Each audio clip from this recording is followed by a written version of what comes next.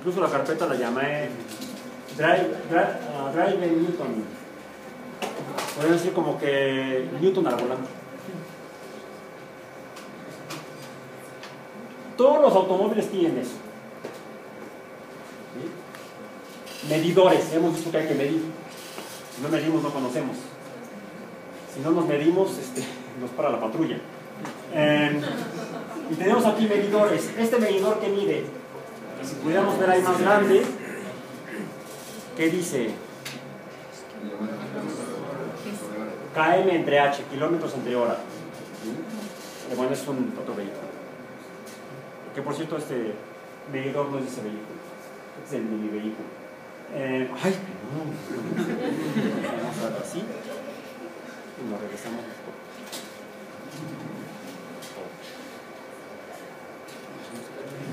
Ok. ¿Y este que dice? No creo que sacas algo bien. Dice RPM por ciento. Revoluciones por minuto. Eh, por 100 dice que tenemos que poner otros dos ceros. 0, 0, 0, 0. 1, 0, 0, 0 sería 1 más 3 ceros. Serían 1000 revoluciones por minuto. 1000, 2000, 3000, 4000, 5000, 6000, 7000, hasta 8000 revoluciones por minuto. No le pongan más de 6500 porque revientan el motor. eh, y acá KM entre H, kilómetros, kilómetros que se avanzan en una hora. Hasta 220. Ahora, vamos a poner aquí unos pequeños videos a ver cuál salió. Es que es difícil. No lo hagan en casa. No, no hay que este, manejar y usar la cámara al mismo tiempo.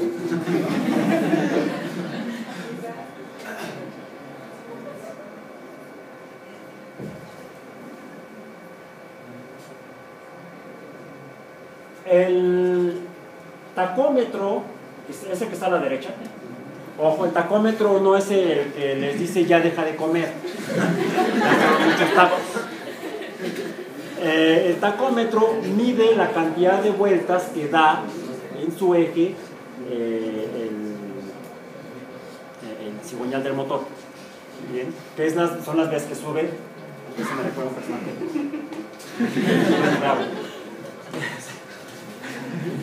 Hola, ¿dónde no? Para nada. Eh, entonces, el tacómetro mide la cantidad de vueltas que da el motor, que sería proporcional a la fuerza con la que empuja el vehículo. Bien. Eh, el de la izquierda, que es el.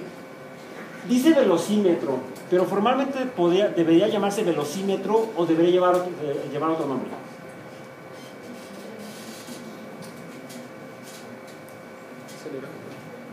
Eh, no directamente. Sería más bien rapidómetro. Porque dice la distancia que recorro en una unidad de tiempo eh, o en una múltiple unidad de tiempo que es la hora, pero no me dice a dónde voy. Eso me recuerda este, una, un segmento de, de, Alicia del País de las Maravillas cuando, está, cuando Alicia se encuentra al gato de Cheshire. ¿sí? que le, pre, le, pregunta que a, a, a, algo así como, luego les paso bien la cita. No creo que la tengo aquí. Sí la tengo aquí, ya me acordé. Este, sí la escribí. Eh, física biológica. Sí la escribí física biológica. La escribí entonces en semana 2. No, todo escribí en el, la escribí en la iPad y la estamos usando como cámara. Luego se las paso. Eh, el que dice que, eh, a eh, que no importa dónde vayas, siempre que llegues a algún lado. Y por lo menos hay que saber a dónde vamos. O ya lo decía el poeta, ¿no? Lo importante, es, eh, saber, lo importante es saber llegar. ¿sí? El poeta de Guanajuato, José Alfredo Jiménez. Bien, entonces, el de la derecha, el tacómetro, mide entonces algo proporcional a la fuerza. que hace que el vehículo cambie de posición en función del tiempo. Bien, vean bien otra vez el video, vamos a pasar incluso a nosotros. Ahí va. ¿Cambia o no cambia? ¿Cambia al mismo tiempo o no cambia? Este fue con mucho movimiento, pues, fue mi primer intento. Fue mi primera ocasión en la que hacía yo esta experiencia. Esta, no otras. ¡Ay! Va usted aquí. No, esa no fue. Esa fue una falla. No le hagan caso. No, no choqué. Aquí estoy. A ver ese.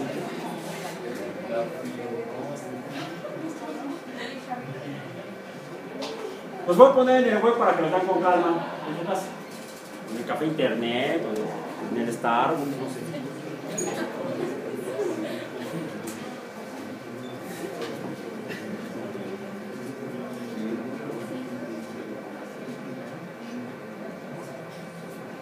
Cuando el vehículo está detenido y el motor está funcionando, su velocidad, su, su- lo que marca el tacómetro, el número de revoluciones por minuto, que mantiene el motor encendido es de 1000 revoluciones por minuto. Si necesitamos que el carro se mueva, tenemos que eh, liberar el clutch, que es el que hace que se una la rotación del motor a, la, al- fuerza de transmisión a las ruedas, a la presión a las ruedas. Eh,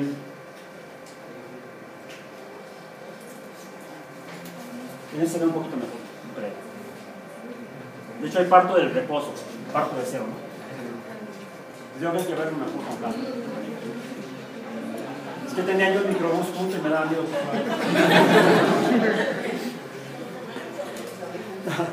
no recuerdo pero Bueno, los voy a subir para que los vean con calma.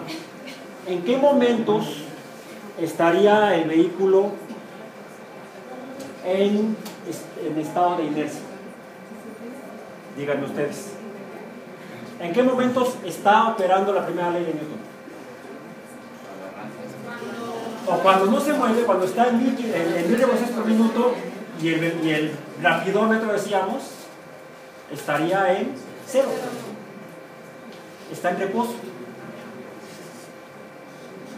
¿En qué otro momento podría estar el vehículo operando de acuerdo a la primera ley de Newton?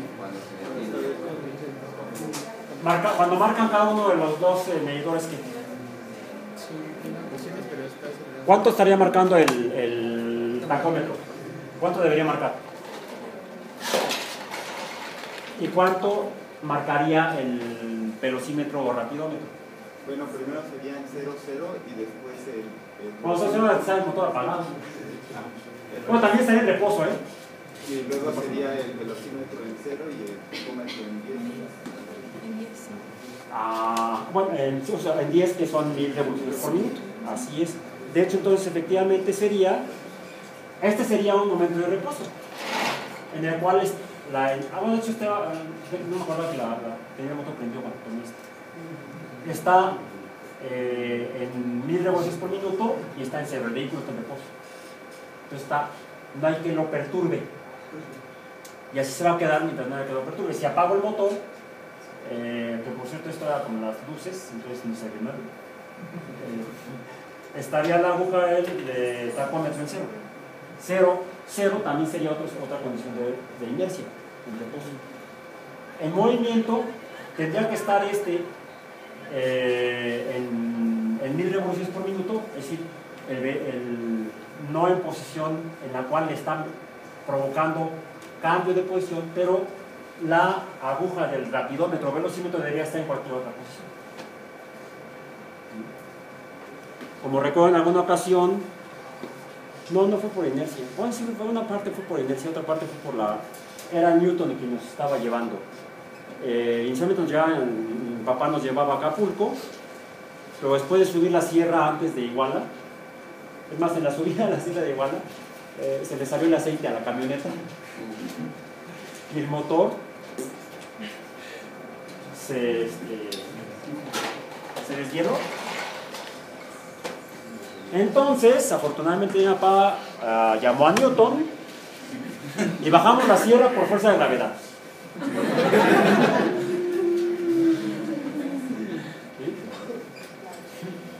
Hasta que se acabó la sierra. Estábamos en planito. Y allá estaba igual. Una vez que llegamos a la parte uh, horizontal de la carretera, cambiamos de ley, de la ley de gravedad de Newton a la primera ley de Newton. Gracias a la primera ley de Newton, llegamos, nos quedamos a 3 kilómetros de la Volkswagen, a donde llegó ya un ángel verde nos ayudó a llevar el carro Entonces, este, gracias Newton. Arreglamos el motor y después nos fuimos ya de vacaciones a, a. Entonces es importante. ¿Cómo es importante la física? Nos puede llevar de vacaciones. Bien, ok. Em, ahora, eh, vimos el, odómetro que eh, marca el número de revoluciones, ¿correcto? Em, ahora sí, pasemos estas dos eh, imágenes.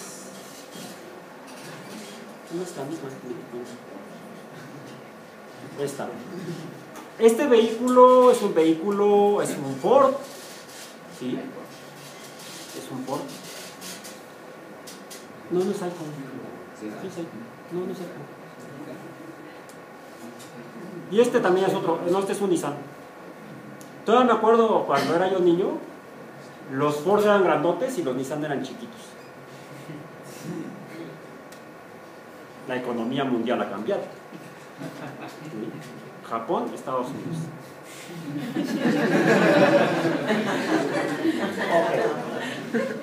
Este, eh, ¿Cómo serán los motores de ambos vehículos? ¿Cuál ley de Newton debemos, a cuál ley de Newton debemos acudir? A la segunda ley de Newton. F es igual a M por A. Bien. Para provocar un cambio de posición, el mismo cambio de posición, a dos masas diferentes,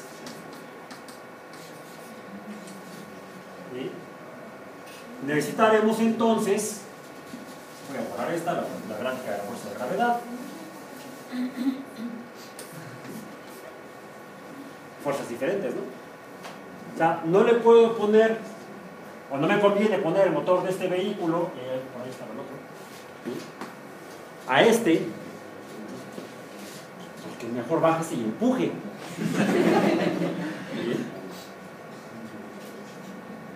Ahora, si le pongo el motor de este a este, ¿qué pasará?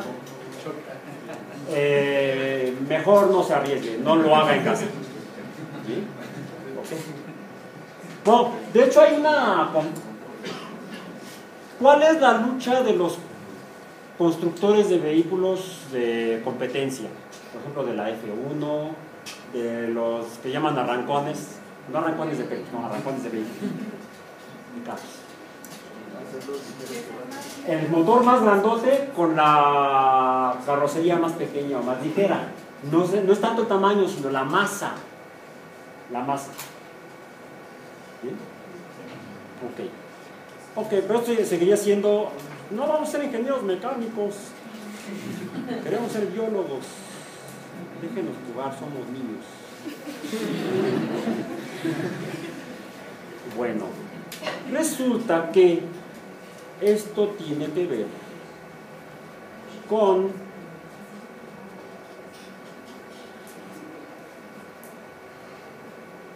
esto de acá.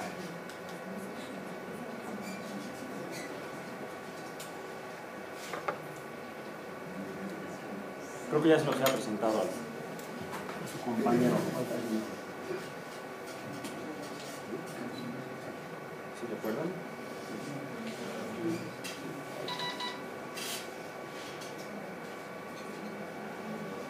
Ay, bueno, es que no, está muy, estamos reducidos en el tamaño de la pantalla.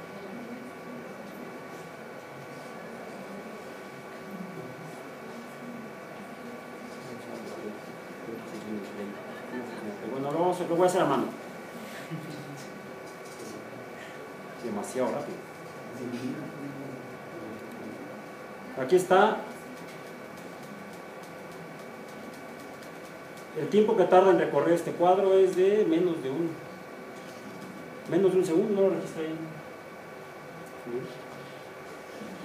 Comparado con comparado con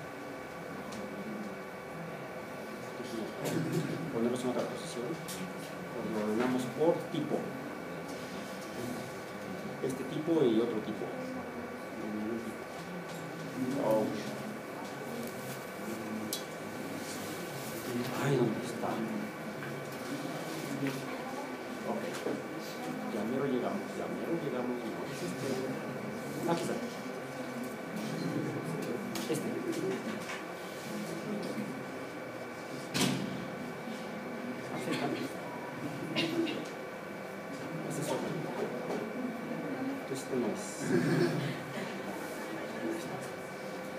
El C1, el M1,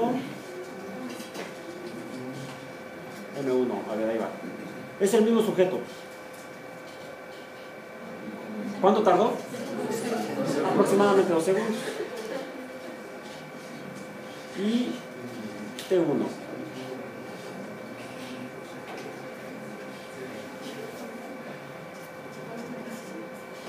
¿Cuánto tardó? ¿Qué fue lo que varió? La varió la velocidad, varió la, la fuerza, por lo tanto varió la aceleración. Eh, como, varía, eh, varía la, la fuerza, eh, varía la aceleración, porque la masa se mantiene constante, es el individuo. Pero ¿qué es lo que provoca el movimiento del individuo? Es decir, el factor biológico importante en este caso, que está regulado por, las, por la segunda ley de Newton, es la masa muscular.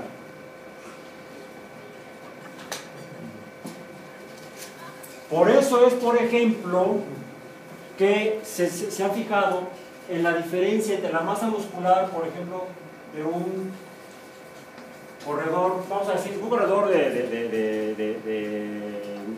alto nivel, un corredor de 100 metros planos, contra, por ejemplo, un corredor de Siento que le faltan unos 198 metros, 194 metros. Maratón. ¿Son iguales? ¿Por qué no son iguales sus masas musculares? La explicación está en esto, pero sobre todo en el para qué quiero esto.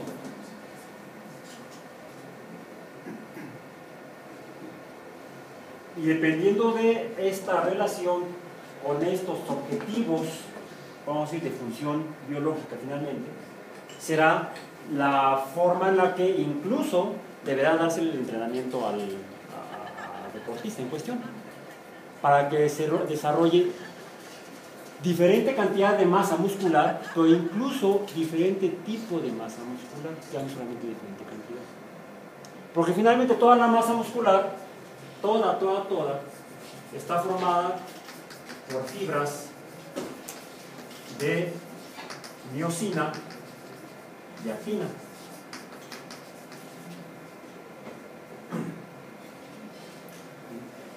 Y el funcionamiento de estas fibras también depende de esas leyes, incluso a esa escala. ¿Correcto? Entonces, por eso que no es tanto porque queramos entender esto, porque vamos a diseñar vehículos, no, porque necesitamos entender cómo funciona la locomoción en los seres vivos. ¿Correcto? E incluso el tipo de locomoción que tienen diferentes organismos en función de sus necesidades biológicas de supervivencia. Vamos a regresar acá a... Bueno, los humanos lo hemos usado más principalmente debido a, bueno.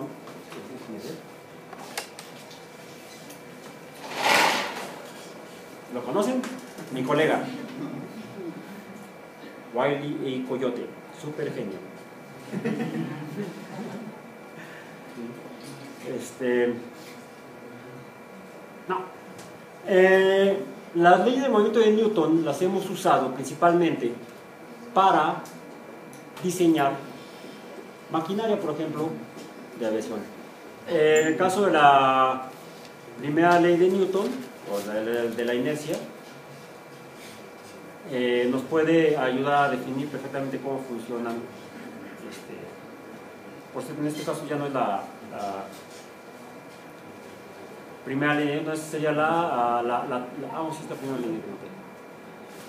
Sino también la segunda ley de Newton nos va a indicar cómo debemos diseñar a, las, este, a los dispositivos y en función de qué funcionan. Es en el caso de la tecnología. Pero también en el caso de, eso lo tengo acá.